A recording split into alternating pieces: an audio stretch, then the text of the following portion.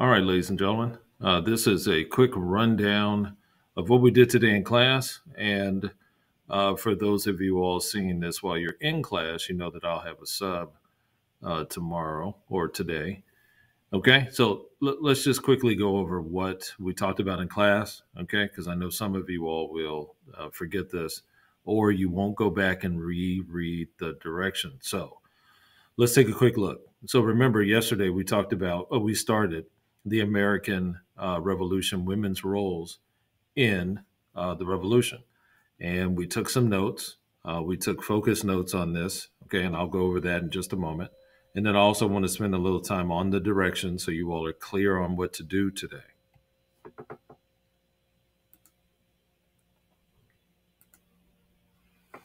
All right. So, yesterday, if you weren't here, or if you were here, this is just a quick recap of what we talked about uh, yesterday. Now, you're starting a, a project, a research project that you will present in front of the class on women's roles in the revolution, both during the revolution and before the revolution. Now, we took some time to set up uh, our notes.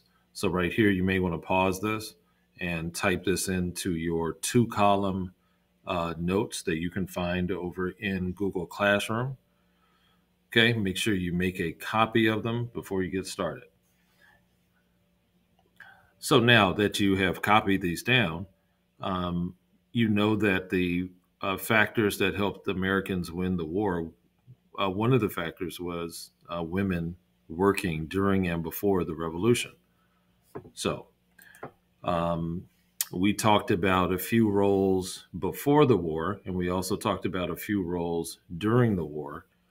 And I pretty much gave the, uh, I read the the section. This is chapter six, two point three, women's roles in the in the revolution. If you don't see it in Schoology, you'll just have to go to Nat Geo and open it up there. As you can see from these notes here, before the revolution, all we really wanted to capture were the roles. What parts did women play whether they were official parts or unofficial parts, what role did they play? And as you can see from some of these notes, before the revolution, women were writing in support of liberty and independence. Okay, women were recording the history of the revolutionary period, and they were organizers, they were reporters and writers. Okay. During the revolution, we started to see a little bit more direct um, you know, direct involvement. Okay. Some women, because their husbands left to go to fight the war, stayed home and defended the home front. Okay. They ran the household, they ran the farms, they ran the businesses that they started. Some women traveled with the Continental Army. Okay. And with their husbands. Uh, and they became cooks, they became nurses, and they also washed clothes the book continues to talk about uh, spying, espionage. So they became spies. Some dressed up as soldiers and, and actually uh, were involved in combat, your book says. Some were informants, as uh, Sybil Ludington was. Okay. And it continues. So, really, what we put, we put these roles into our notes, had a quick discussion, and wrote a summary.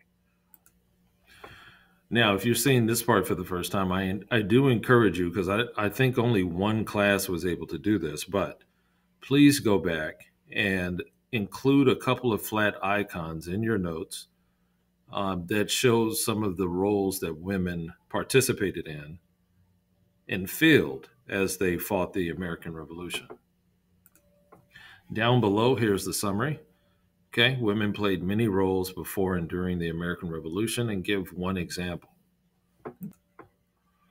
And so now you are prepared now uh, to do the research. Okay, and so make sure that you go over to Schoology and open up a set of directions. Let me do that now.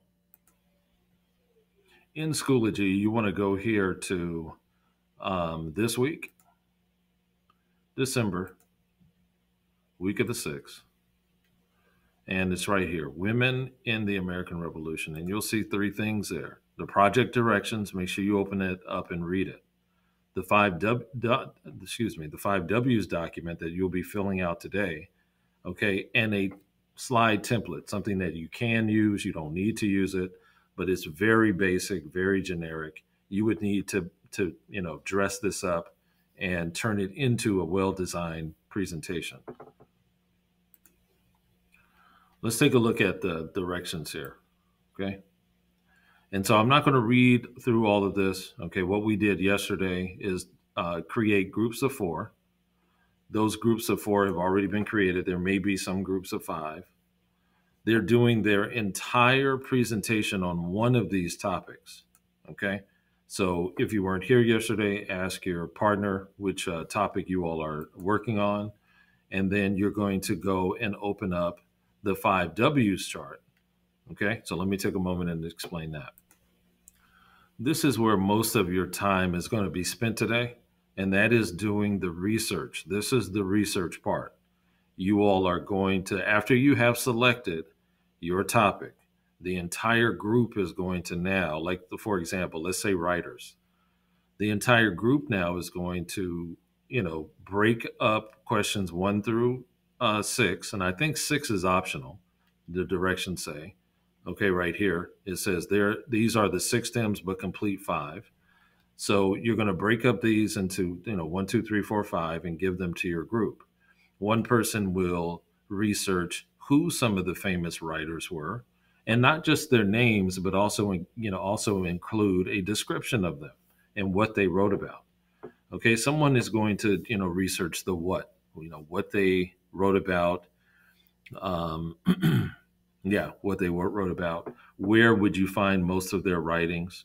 We saw in the textbook how i think abigail adams or, or mercy uh, otis was elected to um, a select committee right in the massachusetts colony. So that would be where. When obviously would be what time period? Okay be very specific here. Okay this is not just a date this is also, excuse me, when were their writings published? Um, okay, so this is kind of like frequency. How often did they write? Where did their writings show up? Okay, and then number five would be why. Why were they writing? Your book talks about, if you did some research in your book, talks about the women wrote. All right, so sorry for that weird cut. We will um, just make sure that you're filling in the five W's and everything will be just fine. Next, don't forget to take a look at this template. Okay, it's a very basic template. Okay, you and your group are going to concentrate on one of the topics. Okay, not several of them. If you're doing writers, then everyone in your group is doing writers. If you're doing uh, women on the home front, then everyone is doing that, and you're answering the five W's. Here you see two slides for each of those five W's. If you and your group can get all of your answers and research onto two of these slides, then great. If you need more slides, then please add more.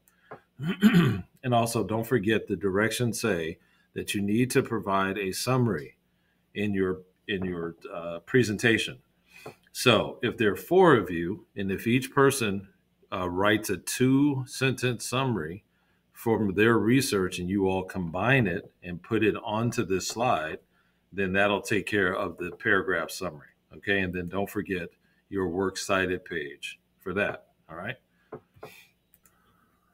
Okay. So that is it. That's a quick summary of what you should be working on. And uh, if you've been away and just uh, returned and you're joining us, just make sure you go back, take your focus notes, uh, maybe ask some of your partners if you can uh, look at their focus notes so you can copy and then be prepared to uh, present your presentation by this Friday. Okay, I'll see you on Thursday.